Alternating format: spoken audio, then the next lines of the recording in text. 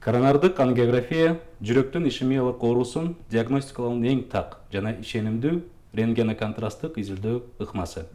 Ал эми стенд коюу атайын конструкциялардын жардамы менен мурунку диаметрин калыбына келтирүү үчүн тамырдын же органдын кууш аймагын кеңейтүү процедурасы. Саламатсыздарбы? Импульстун кезектеги чыгарылышында кош келиңиздер. Бүгүн бизде конокто кыргыз орусия клиникасынын врач кардиологу молдыбаева алтынай ақылбековна бизнес студияға қош келіпсіз. Құрметті көрушілер экраныңыздарда көріп тұрған номерлерге whatsapp номерге 501 10 58 80 номеріне өзіңіздердің коронарография жана стентелеу бойынша сұрауларыңыздар болған болса ұзатсаңыздар болады. Ал эми биз баштадық баштаганда эле алтынай айым айтсаңыз коронардык ангиография же болбосо коронарография деген эмне? Бул эми жөн сөзү менен айтканда жүрөк кан тамырларын изилдөө. Жүрөк кан тамырларын канча деңгээлде ачык экенин кандай жүрөктү кан менен камсыздаганы көрсөтүлөт да. Ошондо жүрөк кан тамырын изилдөө деген бул коронарография. Эмнеден да латин тилден коронара деген бул кан тамыр деп перевод болот да? Демек дал ошол жүрөк кан тамырларын да именно жүрөк кан тамырларын башкача айтканда кыргыз тилинде деп коелу коронардык ангиографияда деп коет экен. Ал эмне үчүн жасалат? Коронарография өзү негизи жүрөк оорусу барбы же жокпу деп аныктаган үчүн жасалат. Эмнеден да буну биз эми золотой стандарт диагностики деп айтып коебуз эң акыркы ступень да көптөр учурда экг тарттырабыз экгден өзгөрүш болот суточный монитор коебуз анда чыгат чыкпайт ар кандай болуп калат жана тредмил тест деп бар андагы чуркатып пациенттерди байкайбыз. Если ошонун баарында өзгөрүш болуп же биз өзүбүз сомнение кармап кетсек жүрөк оору барбы же жокпу деп точно билген үчүн уже коронарографияны акыркы ступень кылып точно диагноз койгон үчүн жасайбыз демек баардык изилдөөлөрдөн өткөн соң коронарография бул эң акыркы эң акыркы чекит болот ооба мисалга ошол коронарографияга жабырлануу пациент дейли? Кандай бир даярдык көрүш керекпи атайын? Же сразу жасала береби ал эми коронарография болсо биз ал үчүн пациентти жаткызабыз больницага предоперационный подготовка деп коет. Анда анализдер алынат. Анализдер алынат обязательный общий анализ крови креатинин калий деген анализдер алынат. Андан тышкары как и башка операцияларга алынгандай эле вич гепатит анализдерин изилдейбиз андан тышкары экг эхоны көрөбүз. Жүрөктүн абалын на момент коронарография андан тышкары пациент обязательно ач карын болуш керек. Тамак жесе бул болбой калат. Эмнеден да биз контрастный вещество киргизебиз кан тамырларга тамак аш жеп келсе то пациенттин көңүлү айланып кускусу келет ошон үчүн обязательно ач карын болуш керек пациент. И также предоперационный подготовкага биз гидрационная терапия деп коебуз. Это кан тамырларга көбүрөөк жидкость киргизгенге даярдайбыз да.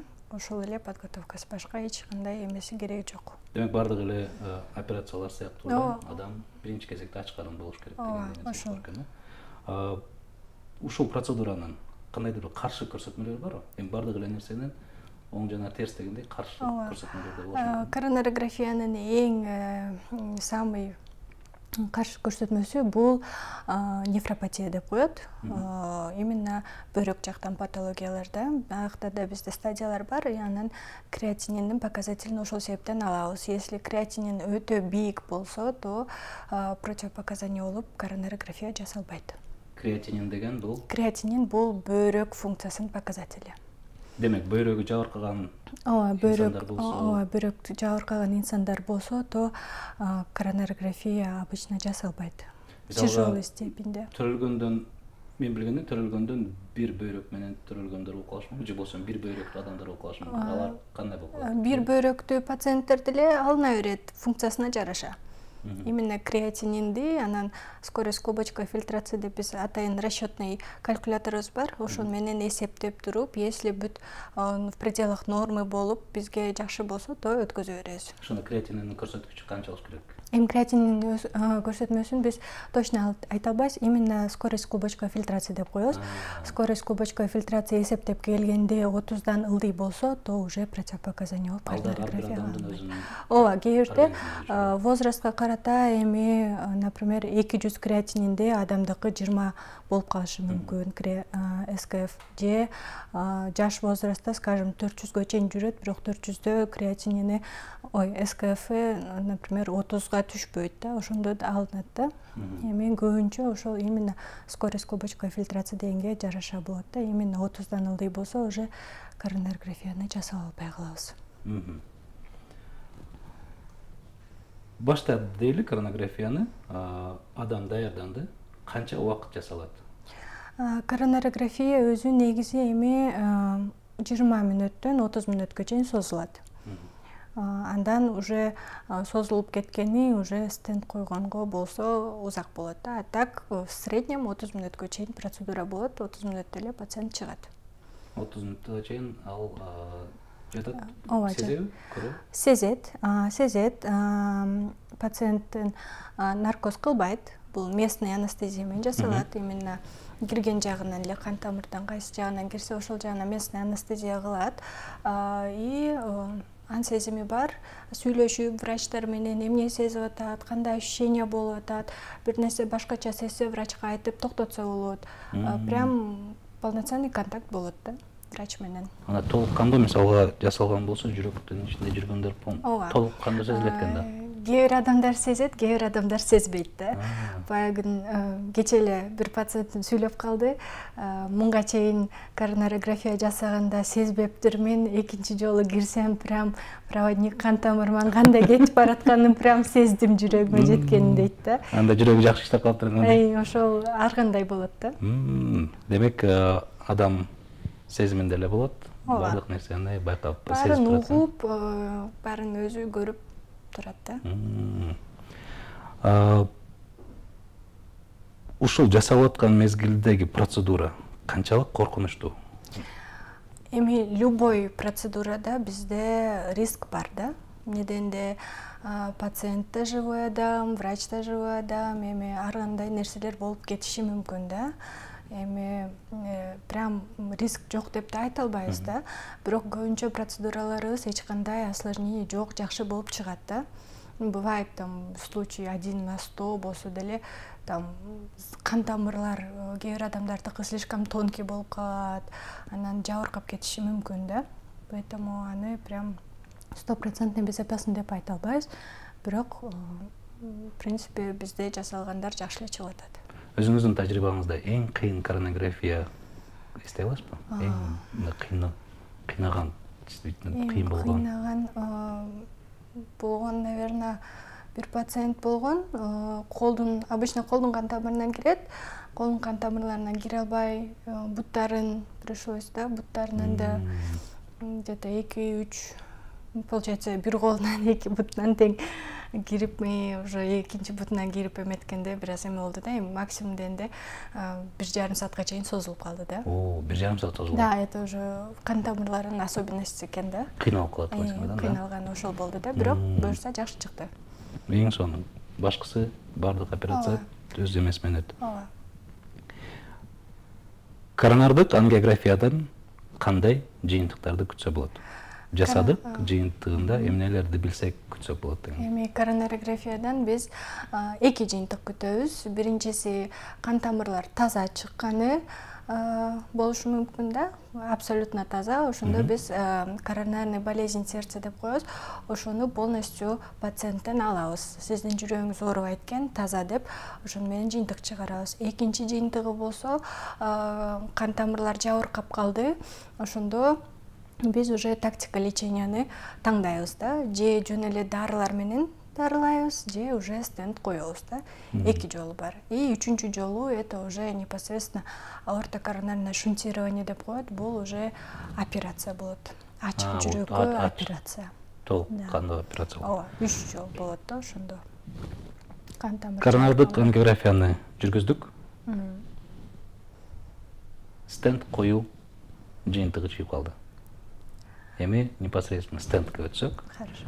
Стенд бул эмне. Стенд бул өзү негизи бизде тактика лечения да? Бул өзү атайын вот мен сизге алып келдим көрсөткөнгө да мындай кан тамырга киргизилген зонд да? Вот негизи мындай. Бул бизде эми ачылбайт бул непосредственно стенд. Бул сизге материал менен көрсөтөйүн э бул материал. Стенд эгер мүмкүн болсо операторлор жакындатып көрсөтүп берсеңиздер конечно. Мына стендтин башында эң негизги биз биринчи индифулятор дегенди кошобуз да. Бунун баары стерильный непосредственно операционныйдан ачылат перед пациенттен пациентке көрсөтүлүп мына бул сиздики бул только сизге ачылат деп бүт стерильно кылып ачып көрсөтөбүз бир эме бир пациентке эле колдонулат ооба муну индифуляторду ачып непосредственно булардын баарын кошуп туруп ичине контрастный вещество киргизилет кан тамырга киргизген физраствор менен аралаштырып анан стендке кошулат бул эми өзү негизи стенд. Стенд мына бизге жардам берип койсоңуз жок башын эле кармап туруңуз ооба. Бул ушинтип эле мына кан тамырга кирет да өзүңөр көргөндөй. Азыр колуңуздагы кан тамыр элестеткен болсо бул ошондо ошонун ичине кирет экен бул өтө чука нерсе. Мына бул. Камерага көрүнүп атабы бизге бул ошондо бизде бул эми бизде эки стволовой стенд экен эки кан тамырга кирген да вот и мына жакын келип көрсөтсөңүз деле болот да. Непосредственно ушул бизде стенд. Мындай кылып көрсөтөйүн жакындап көрүндүбү бул жак ошондо стенд болуп калат мына вот. Вот именно вот эта часть могул жагы менин көзүм менен азыр менин көзүмө да анча эме болот экен өтө токулган эмедей болуп турат. Бул мындай сетчатый да өзү структурасы сеткадай болуп турат. Анан муну жасап атканда атайын ушундай заводдон под высоким давлением ушундай сжимать этилет да. И оролуп кирет да чтобы кан тамырга эч кандай оорчулук эмес кирип жасаганга. Анан непосредственно мына көрдүңүзбү бул жагында размер стента жазылган да. Бул например үчкө он сегиз. Получается үч бул диаметри он сегиз бул вот именно длина. Демек узундугу. Узундугу ооба. Анан ушуну киргизгенден кийин кан тамырга через индифулятор воздух менен нагнетение кылганда бул ачылат расправляться этет и кан тамырдын ордуна турат именно стеноз болуп калган жакка ачып коет ооба ачып коет да. Ошону менен биз коебуз стендти жыйнайбы жок мындай эле туруп жыйнап алам ушундай стенд бунусу деле эми ушундай просто диаметри башка да. Ооба ооба азыр бул ушул стендтердин диаметрин и узундугун аны уже коронарография убагында аныктайт да. Бизге стендке эми показания кандай? Кан тамыр өзү жетимиш беш проценттен өдө жабык болсо бул уже стендке показания болот да. Балким жетимиш беш процент кээ бир адамдардыкы токсон тогуз болушу мүмкүн токсон процент сексен беш эми ар кандай да. Ошого карата жана бизде эми кан тамырлар тоже ар кандай диаметрде кээ бирлердики өзү жүрөк кан тамыры кеңирээк жеринде жайгашкан да. Анда уже бир аз кеңирээкин алабыз. Же мелкий сосуд жактарында болсо аларга уже более ичкерээктерин тандап алабыз да. Аны уже только хирург айта алат да. Демек коронографияны өткөрүп жаткан хирург айтат. Ооба. Анан ошого карата сиздер уже аныктап туруп аны стендти толугу менен коюп бересиздер. Стендтин ушул мисалга узундугу башкасын аныктап аткан мезгилде кайсыл жерине кандай стенд коюлуу дагы стандарттары барбы жокпу? Жок ошол уже индивидуально болот да бул. Ар бир адамдын өзүнө. ар бир адамга кээ бир адамдардыкы ошол бир жерге эле протяженный стеноз болсо кээ бирде эки үч стенд коюлуп калышы да мүмкүн да. бир эле жерге? Бир эле жерге. Бул уже прям коронарографиянын өзүнөн эле көрүнөт да. Мындай просто айтып туруп сага эки стенд коюш керек же сага бир стенд коюш керек деп айта албайбыз демек сөзсүз түрдө кан тамырдын ичине кирип чыгып андан кийин гана обязательно. көрүш керек экен да? Урматтуу биздин whatsapp номерлер беш жүз бир он элүү сегиз сексен. Ушул стенд боюнча же болбосо коронография боюнча суроолоруңуздар болгон болсо биздин ошол whatsapp номерге суроолоруңарды жазып узатсаңыздар болот стенд боюнча эгер уруксат болсо дагы улантсак кайсыл учурда деп эме кылайлы кимдерге стенд коюу биринчи сунушталат? Эң биринчи бул инфаркт миокарда деп коет. Бизде инфаркт миокарда деген оорусу бар. Ошондой пациенттерге коебуз да. Обычно бул экстренно деп коет да. Адам жүрөгү ооруп калды больницага келди экгден өзгөрүш көрдүк анализдерибизден тропонин положительный чыкты. Анан биз инфаркт деп айтып атабыз. Анан ошол инфаркт болгон адамды он эки саат ичинде эң биринчи он эки сааттын ичинде кармасак экстренный чековый деп коебуз. Ошону менен сразу операционныйга кирет э, экстренный коронарография жасалат. Ошол моментте эле кан тамырда жабыркаган бар болсо то сразу стенд коет да. По жизни угрожающим состояниям деп коет да ошону менен коебуз это бул прям экстренный чековой деп коет.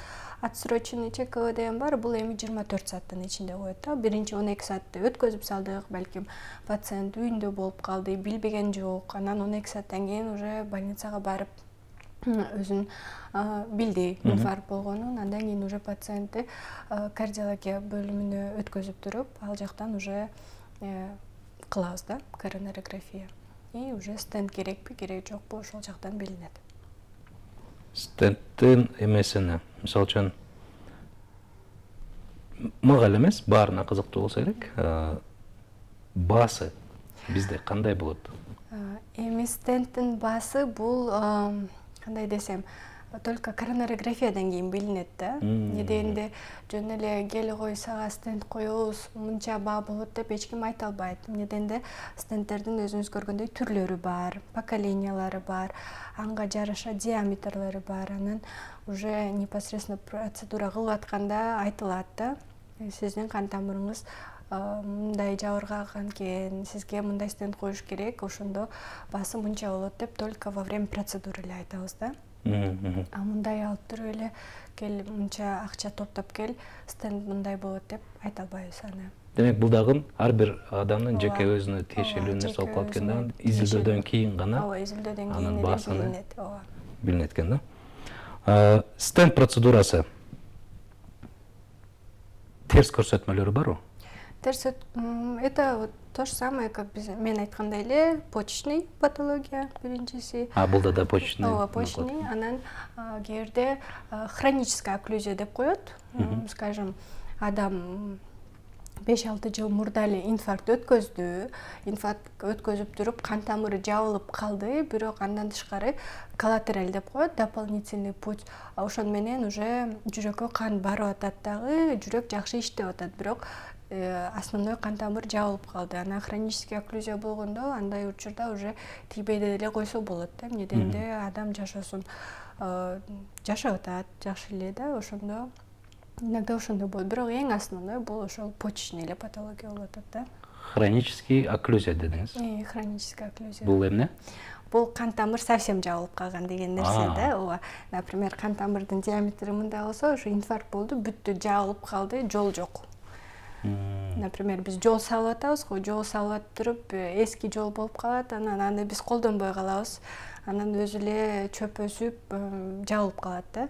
Ошондой эле кан тамырда да хронический окклюзия болуп калат ал кан тамыр кийин башка жактан жол таап өтө ооба башка жолдорду таап өтө берет майда кан тамырлар бар ошол майда кан тамырлар менен жүрөктү иштете берет азыр э, бир аз тыныгуудан кийин э, улантабыз. Урматтуу көрүүчүлөр азыр э, жанамалык тынууга чыгабыз. Жанамалык тынуудан кийин кайра улантабыз. Биздин whatsapp номерлер беш жүз бир он элүү сегиз сексен. Э, биздин конокто бүгүн алтынай айым. Кыргыз орусия клиникасынын врач кардиологу э, жүрөк оорулары боюнча стенд коюу боюнча суроолоруңуздар болгон болсо биздин whatsapp номерлерге жазып узатсаңыздар болот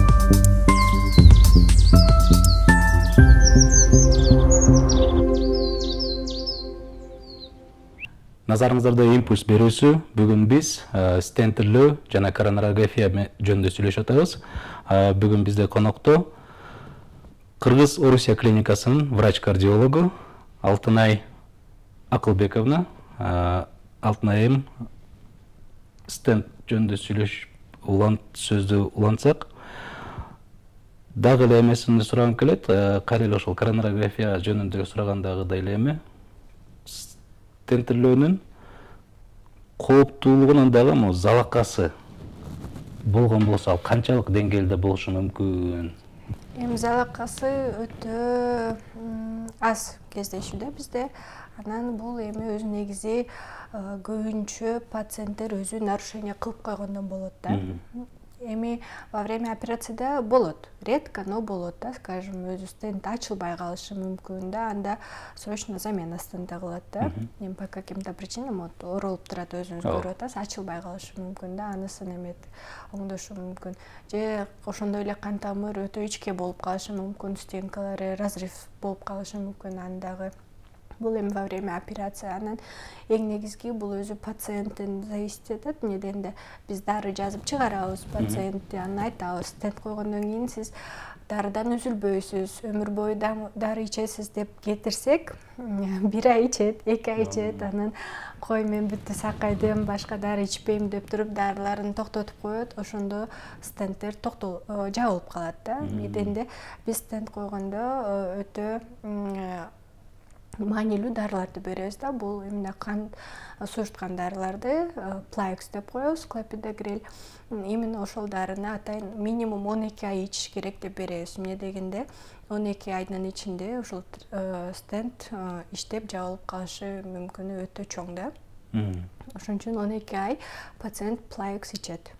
Плаекс ичип жүргөндө стенд жабылбайт да. Анан он эки айдан кийин пациент келет көрөбүз жакшы экен деп туруп ошондо только можем токтоткону плаекстин приемун а так көбүнчө ошо мен бир ай ичтим эки ай ичтим жетиштүү болот окшойт деп туруп эле токтотуп коет анан стенд жабылып калат да.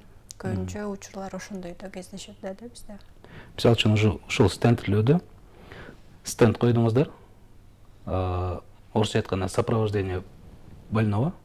Аны он эки айга чейин текшерип карап турат экенсиздер да турабыз биздин клиникада обязательно бир ай сайын пациент келип турат эң биринчиси это пациент стенд койдуртту стенд койдурткандан кийин чыгып атканда биз айтабыз он күндөн кийин келесиз дейбиз да? Он күндөн кийин келгенде биз ошол терапиябызды көрөбүз стенд кандай иштеп атат экенин состояниясынан байкаштырабыз бир он күндөн кийин кеткенден кийин бир ай сайын келип турат пациент ошондо бир жыл ичинде көзөмөлдө болуп турат көзөмөлдө он эки ай өттү дейли? Он эки айдан кийин деле көзөмөлдө тура берет ооба демек стендти дайыма кандайдыр бир белгилүү бир дары дармектерди ичип ооба эме кылып бир шартта камап туруш керек экен да? Ооба он эки айдан кийин дарынын ичин токтотсо болобу он эки айдан кийин ооба эми мен бир эле дарыны айтып атам андан тышкары көп дарыларды ичилет бирок эң маанилүү дары дегенде биз стенд үчүн бул именно плаекс деген дары да.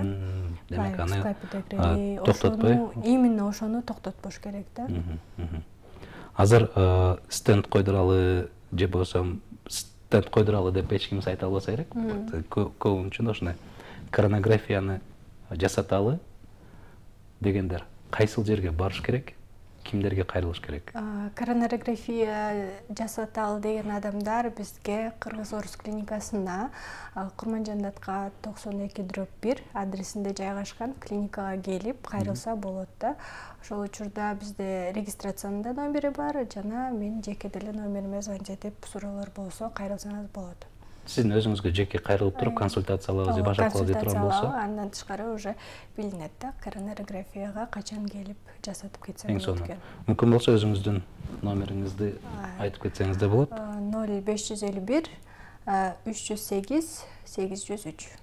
Ушундай урматтуу көрүүчүлөр алтынай айымга түздөн түз кайрылсаңыздар да болот экен. Ошол өзүңүздарга тиешелүү жүрөк дартына тиешелүү суроолоруңуздарды берип такай кан тамырларды гана эмес жүрөккө тиешелүү башка суроолорду да берсе болот э ооба болот эң сонун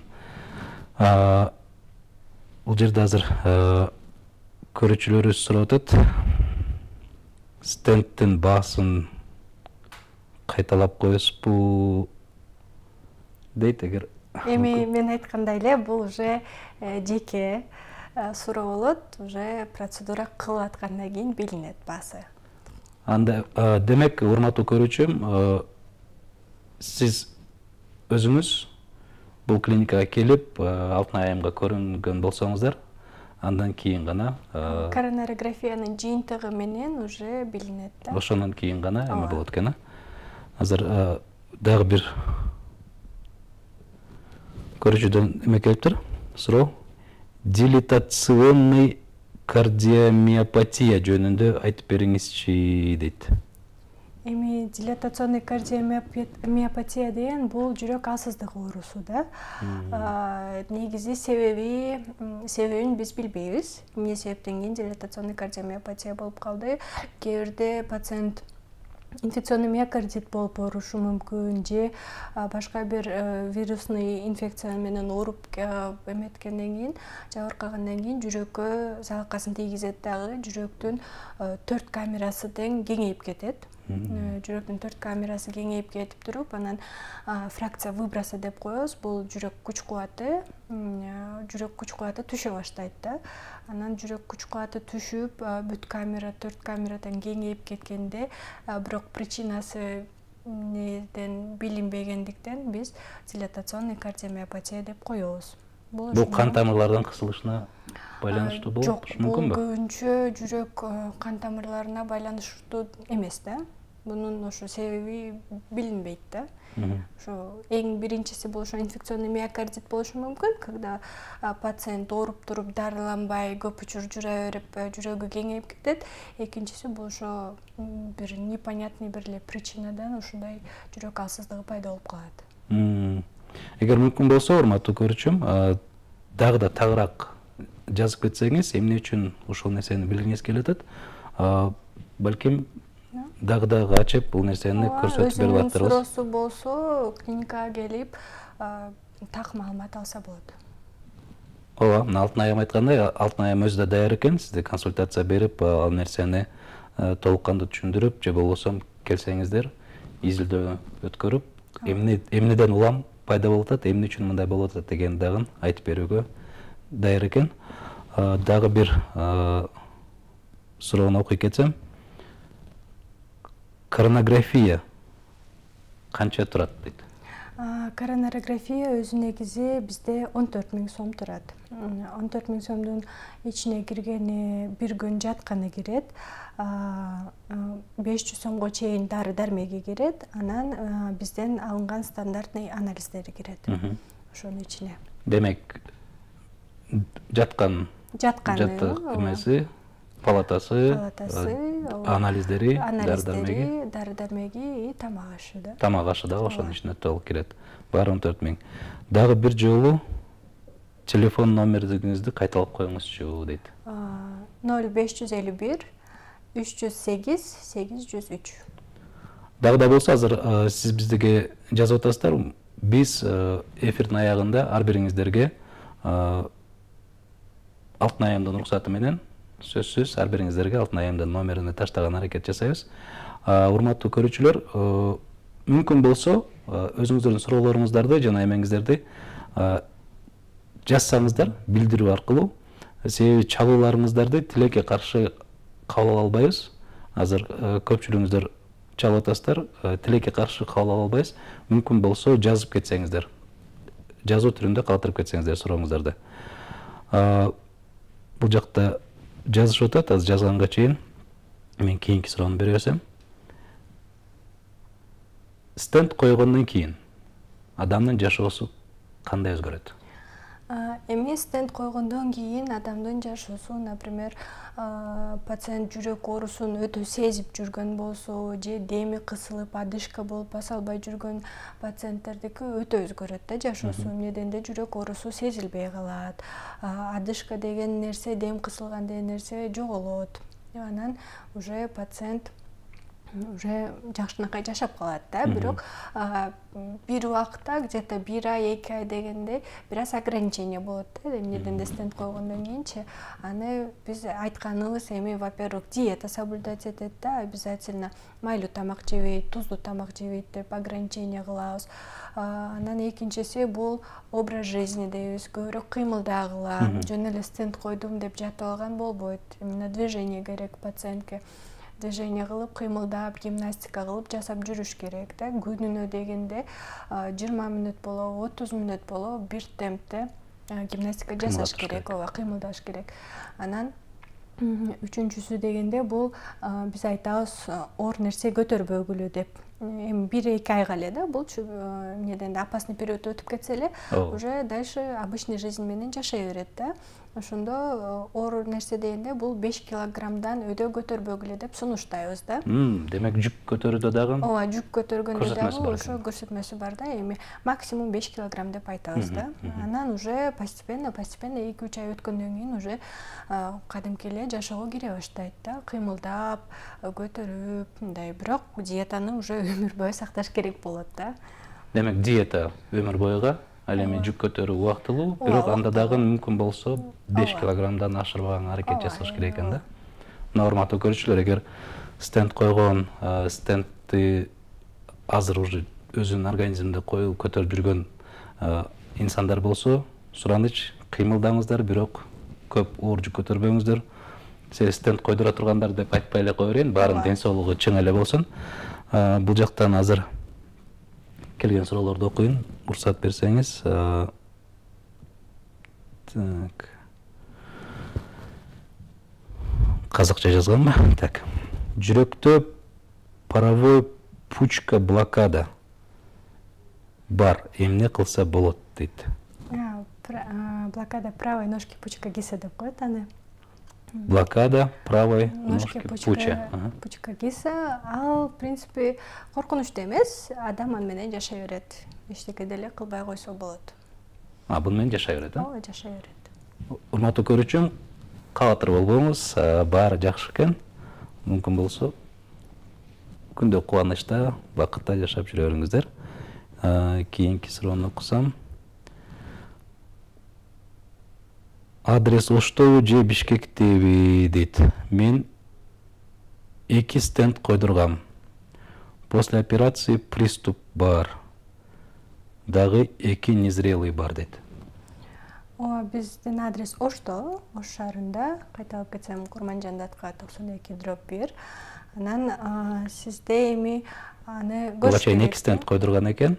После операции приступ бар дейт дагы эки незрелый бар деп кээ бирде адамдарга бир стенд коюлбайт дагы эки үч стенд коюлат да. Ошондо биз аны поэтапный операция деп коебуз да. Например пациент келди биринчи инфаркт болду анан инфаркт болгондо кан тамырларын көрүп коронарографиянан стенд коюш керек ыктымалын аныктадык. Анан эң основной дегенде биринчи именно инфаркт болуп аткан кан тамырды ачабыз ошол жака стенд коебуз пациенттин состояниясын стабилизация кылып туруп үйгө кетиребиз да? Кетиргенден кийин биз айтабыз скажем бир ай эки айдан кийин сиз келесиз кайра экинчи этап кылдырабыз дейбиз да? Кээ бирде адамдар болот скажем бир кан тамырлары жетимиш процент жетимиш беш процент калганы токсон проценттен бийик болсо токсон проценттеги кан тамырларга стенд коебуз а калган кан тамырларын айтабыз сиз ушул кан тамырларыңыз жетимиш беш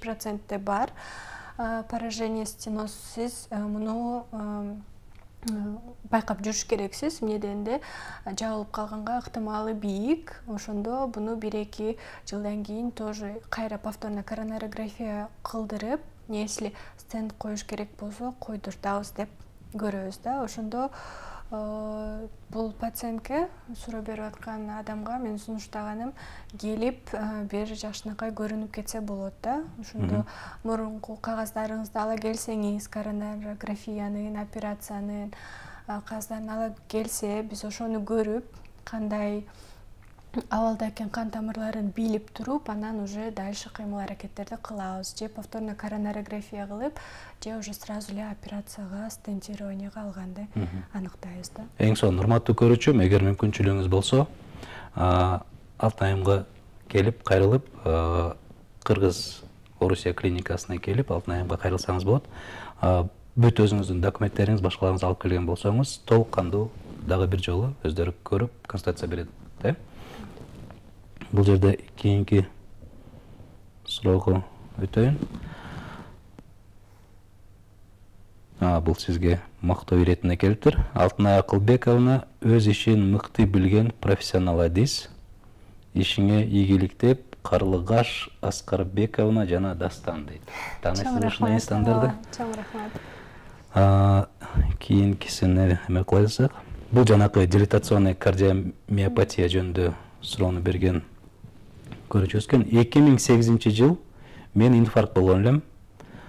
Докторлор синусовая тахикардия дешкен дейт. Дарыланып жүрүп ушул дилатационный кардиомиопатия миопатияга өтүп кеткен эки миң он сегизинчи жылы дейт. Демек он жыл аралыгында ушундай болуп калыптыр да.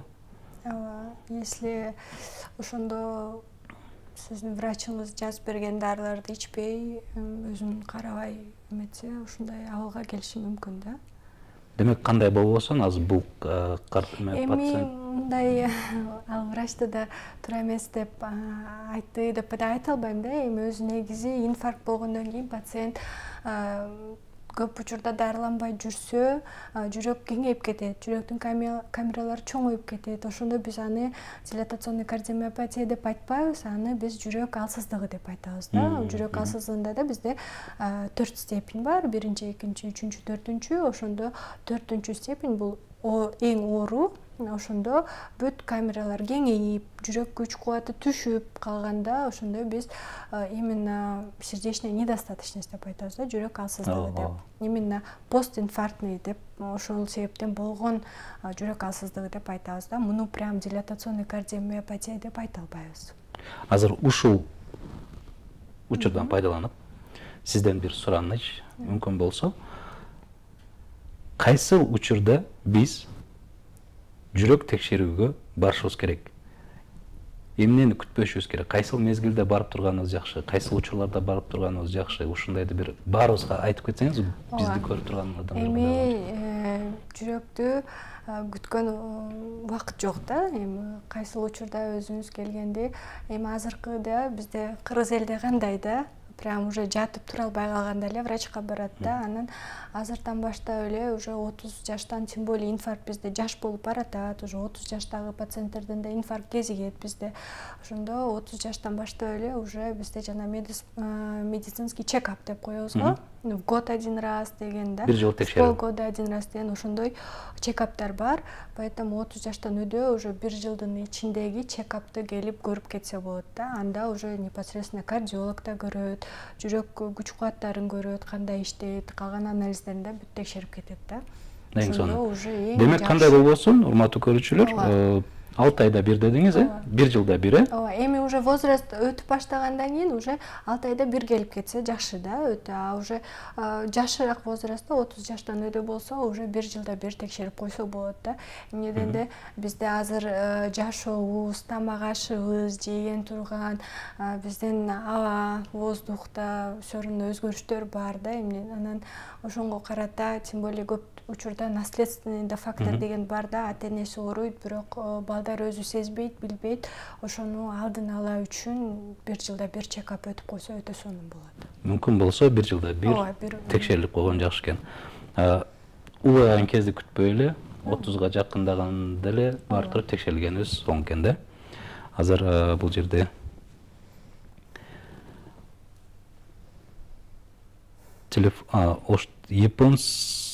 матча чай коллаген хлорелла ичсе болобу дейт. Бул жанагы эки стенд койдурганмын. После операционный приступ бар деген көрөрманыбыз жазыптыр. Японский матча чай коллаген хлорелла деген чайды ичсе болобу деп жазыптыр. Эми ал нерселер бизде основной дарылоого кирбейт бул эми мындай айтканда биологически активный добавка болуп атат анын пайдасы бар же залакасы тиет деп эч айта албайбыз да. Эмне дегенде биз иштешкенде только доказательный медицинадан өткөн дарылар менен иштейбиз да. Вот ушунча проба өтүп бүт доказательный медицинадан өтүп апробация болду ушул дары иштейт деген дарылар менен эле иштейбиз да. Ушундай биологически активный добавкаларды пайда болобу зыян болобу деп айта албайм. Эч эмесин бере албайм да. Урматтуу көрүүчүлөр мүмкүн болсо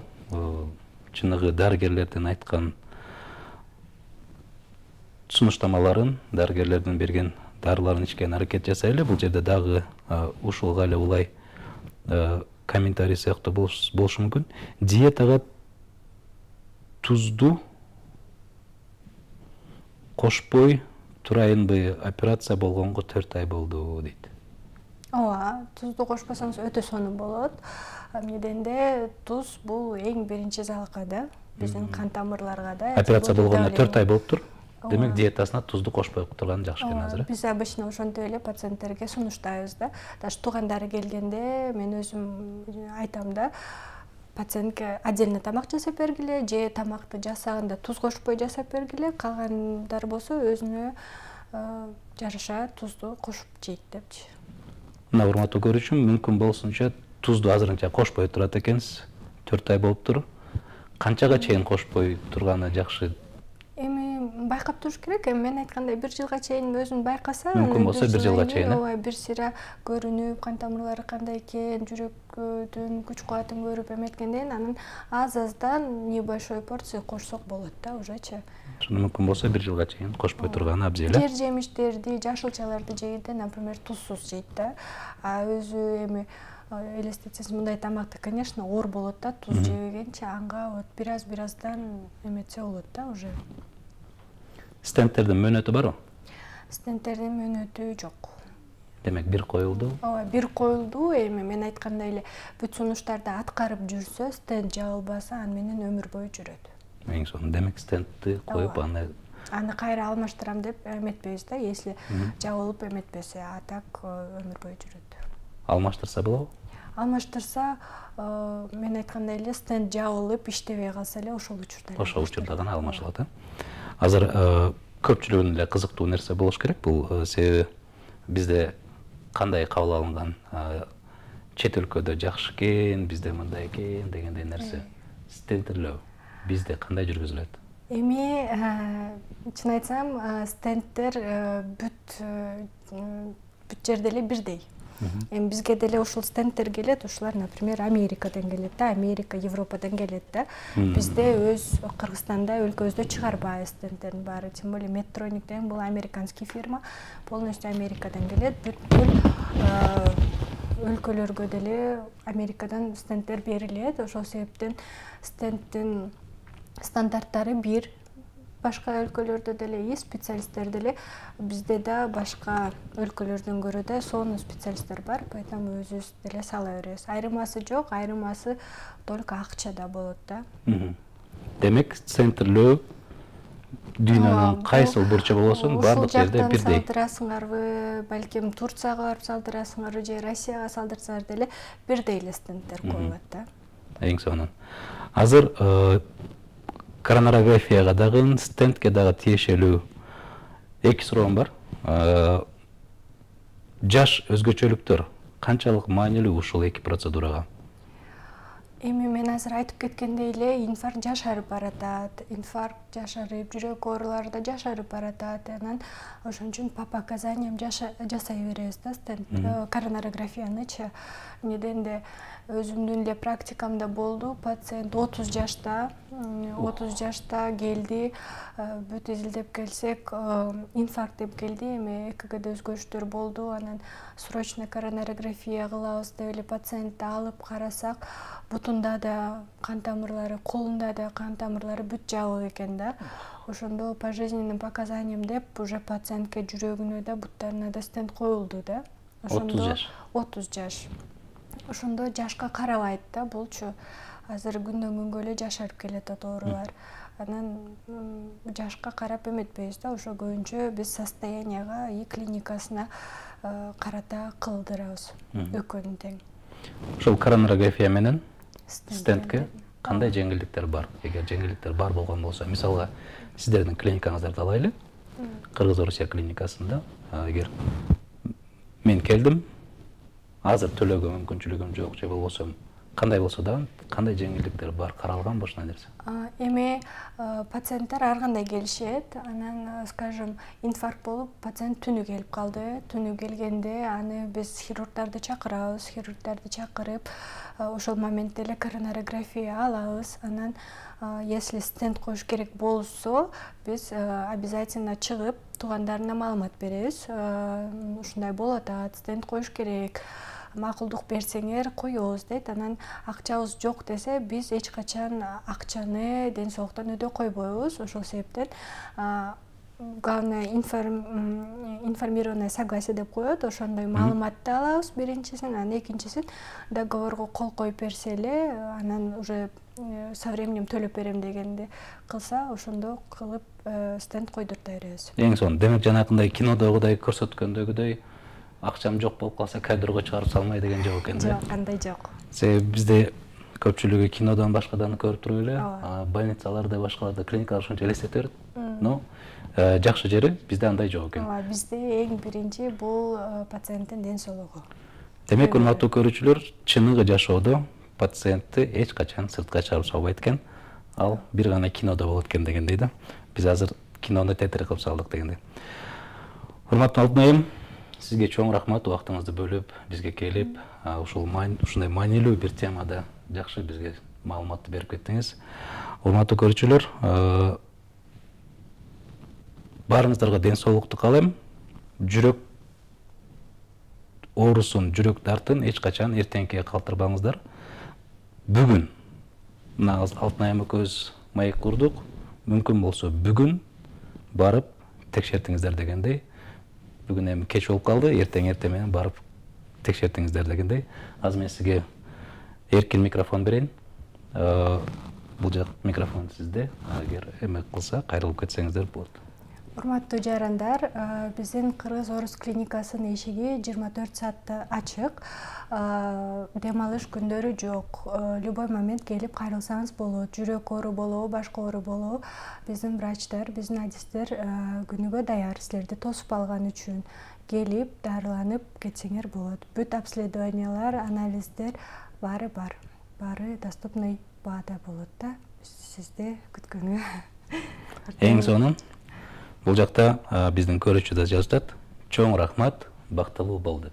Чоң рахмат ушундай позитивдүү нотада биз дагы өз берүүбүздү соңуна чыгарайлы баарыңыздар бактылуу болуңуздар